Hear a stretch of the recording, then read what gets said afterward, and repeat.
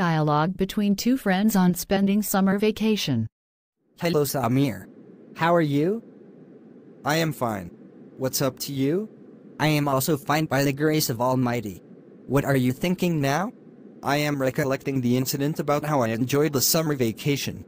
Would you please describe it? Yes, why not? I went to my village home at Mensing.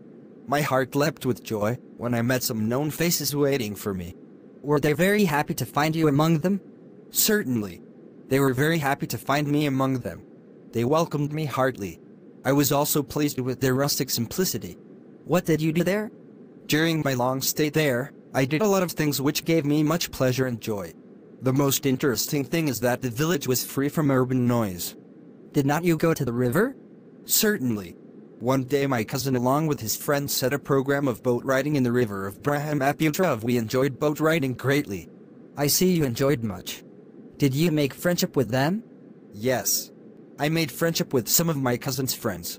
I visited their homes off and on and enjoyed their hospitality. Oh, what a splendid summer vacation it was, had I been with you. I also visited a village fair in the neighboring village. That was a very crowded but enjoyable fair too. It would really be nice if you were with me. Really I feel thrilled. Thanks for your nice description. Most welcome to you. Dialogue between two friends about preparation for the examination.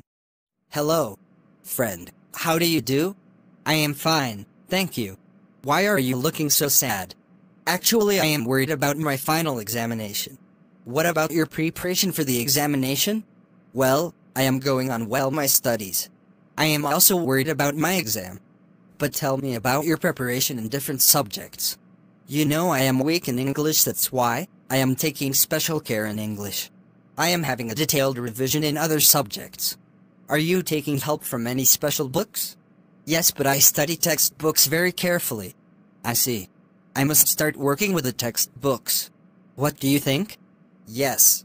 I think it will be very helpful not only for English, but also for other subjects.